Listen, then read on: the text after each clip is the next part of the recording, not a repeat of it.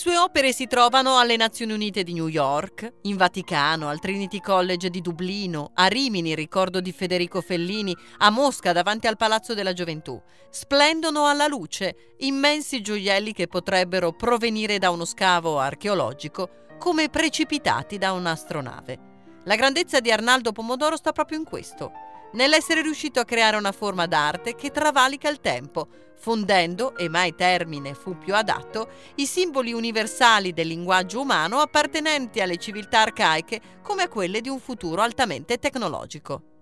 Mi dicono tutti, ma come fai a realizzare quella cosa là? Quando io gliel'ho spiegato, eh, e, e, lo spiego anche a lei, eh, eh, siete tutti meravigliati, ma io quella cosa lì lo ottengo in negativo, cioè io ho una sfera ma è concava.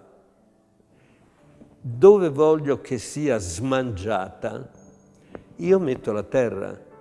Quella sfera mh, che io ho fatto, la prima, non aveva quella interna ed era solo eh, una sfera erosa l'erosione ha, ha, fatto sì che gli dà un senso di drammaticità che però si supera dal fatto che è tutto molto pulito e quindi è un'immagine che ti attira e, e, e ti, è quello che voglio, perché l'opera deve essere guardata, no? Io se l'opera non la guardi eh, e, e passi vuol dire che non l'hai notata.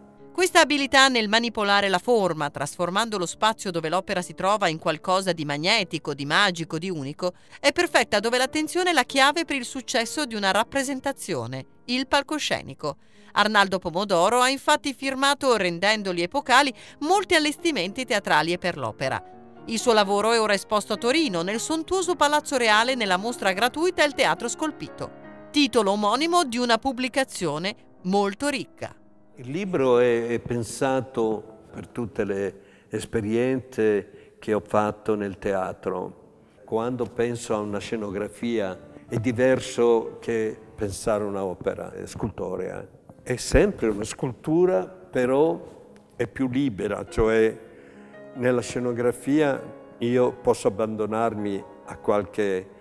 Eh, non ho più quel rigore impegnato eh, che quando faccio un'opera, perché sono giustificato, perché quando io faccio una scenografia, anche se costruisco una stanza, la stanza la devo fare io, quindi divento architetto scultore, considero lo spazio. Sul teatro ci deve essere visionarietà. Troviamo Le grandi ali mobili per gli uccelli di Aristofane, andato in scena a Milano nel 2002 nella casa circondariale di San Vittore, dove quelle ali significano anche fuga, libertà. I torsi scolpiti per Semiramide di Rossini, rappresentato nell'82 al Teatro dell'Opera di Roma i costumi d'oro dai richiami africani della tragedia di Didone, regina di Cartagine, di Christopher Marlowe. Ecco le enormi conchiglie per l'Alceste, di Christopher Willibald Gluck, dell'87. Il grande portale per Oedipus Rex di Igor Stravinsky. E poi le soluzioni scenografiche in miniatura per ogni spettacolo, come il palcoscenico rotante de un ballo in maschera di Verdi, o le derive specchianti di Teneche di Fabio Vacchi. Tutto è dorato, bronzeo, luccicante, spaziale, avveniristico, arcaico. Spicca la scelta di una materia che balugina, su cui ci si può specchiare, quando non ne rimaniamo abbagliati. Ah, io amo molto il bronzo. Se potessi eh, fare una di questi lavori in bronzo, guarda, farei gratis il lavoro, perché vederla in oro, pensa a tutto l'oro che spendono questi personaggi, gli sceicchi per esempio, che ne hanno tanto, fanno le maniglie, no? dicono che hanno i vassoi d'oro, pensa che meraviglia, invece non mi è mai capitato perché sai come fai a essere introdotto, è tutta gente che hanno ricchezze inaudite, mi dicono, no? Il teatro scolpito, Arnaldo Pomodoro, ingresso gratuito. A Palazzo Reale Torino fino al 25 novembre.